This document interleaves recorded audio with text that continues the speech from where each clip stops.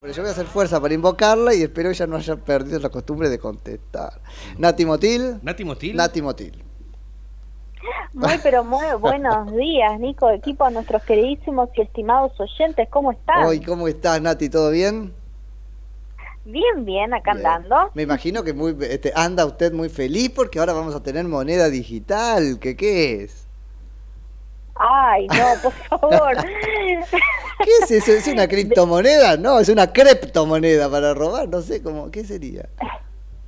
Sí, es emitida, en realidad es dinero fiduciario emitido em, por el Banco Central, que tiene una tecnología blockchain, es decir, Ah, es un tiene. híbrido entre la moneda que conocemos hoy y lo que es la tecnología blockchain. En realidad es, bueno, todo, no, e- es eliminar el efectivo, eh, eh, en, en términos bien sencillos. Eh, el tema es que, bueno, eh, inclusive ya se está debatiendo, en, es controversial en los países desarrollados porque, bueno, sabemos que hay un porcentaje de economía en negro que se maneja íntegramente po- po- por el efectivo y que no sobreviviría si lo eliminarías. Eh, por eso digo, ni siquiera allá en los países más desarrollados lo, lo, lo están aceptando, ¿no?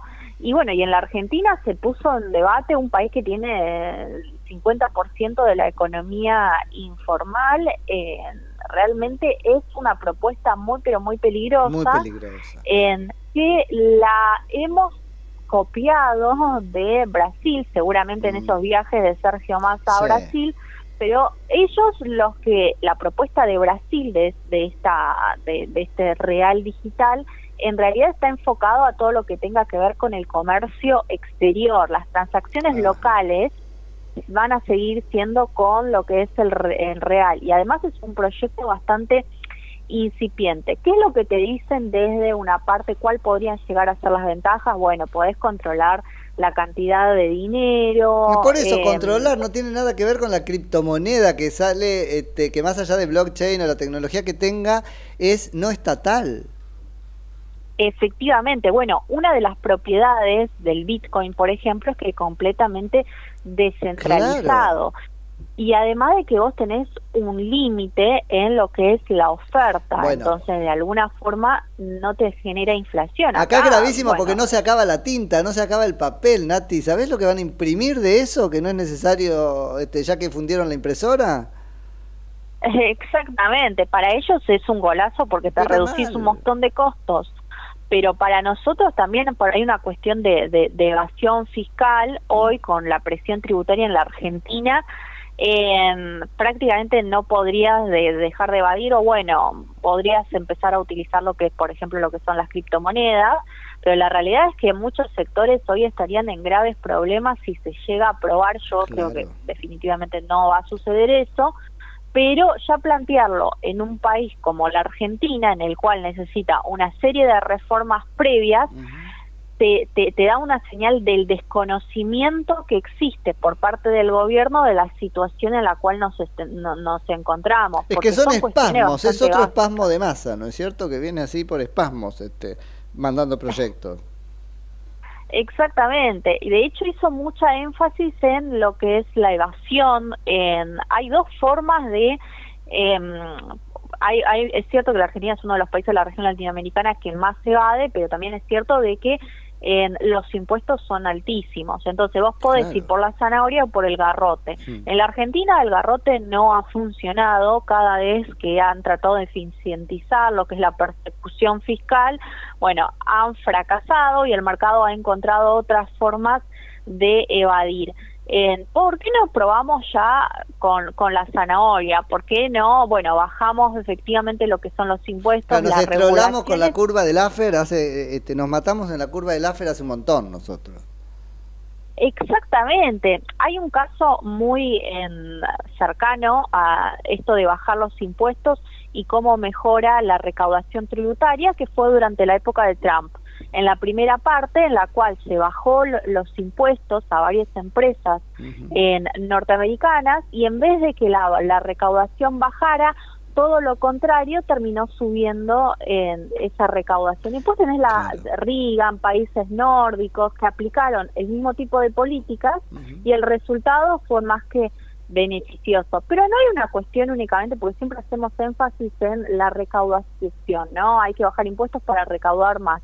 Pero hay una cuestión también de, bueno, toda esa, esa redistribución de, de ingresos del sector privado hacia el sector público, en realidad son recursos que no van a mejorar la productividad, que no aumentan lo que es el capital, la tecnología en relación a lo que es el trabajo, entonces el trabajo, el trabajo no se puede encarecer, no mejoran lo que son los salarios reales y nosotros al final del día tenemos salarios reales bajos y accedemos a productos más caros y de peor calidad. Y es lo que tampoco se hizo énfasis en este eh, debate de, de Sergio Massa. Para nada. Che, Nati, y bueno, a menos que vos quieras tocar otro tema, ¿qué perspectivas tenés sobre, el dólar? Porque, bueno, más allá de lo que este pase hoy, con cómo cerró ayer y todo esto, vos fuiste muy clara ahí en, este, escribiendo y en Twitter, tenés una teoría sobre hacia dónde va. Sí, vamos a tener, digamos, dos momentos claves hoy en, en el mes de octubre porque son momentos electorales.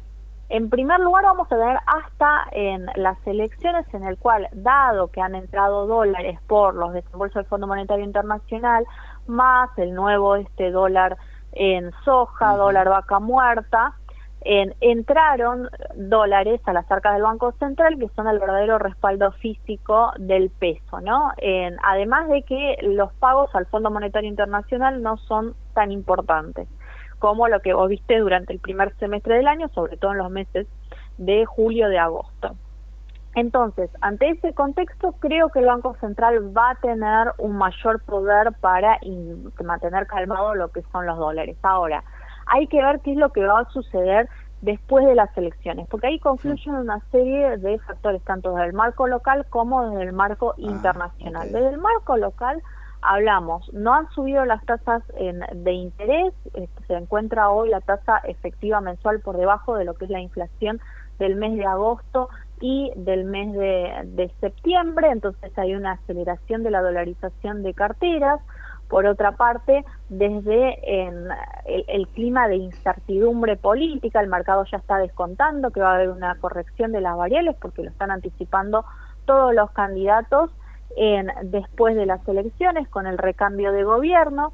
Asimismo, vos, bueno, las medidas que se fueron tomando hasta ahora, estos planes platitas de, de, Sergio Massa, han, impactado negativamente sobre lo que son las expectativas. La realidad es que esta inyección de liquidez no te impacta ahora, pero el los agentes del mercado están incorporando esa información en la toma de sus decisiones y en base a ello están reaccionando, que es lo que prevén en el futuro, que se va a agravar el problema fiscal de la Argentina, en base a ello aceleran lo que es la dolarización de carteras y después tenés un problema con el contexto también internacional, porque tenés las tensiones geopolíticas entre en China y Taiwán. China es uno de nuestros principales socios comerciales, está afectando a las principales bolsas del mundo. Cada noticia nueva que se amanece en relación a este conflicto que parece que ya es inminente y por otra parte las decisiones de los Estados Unidos, de la FED más precisamente, de subir lo que son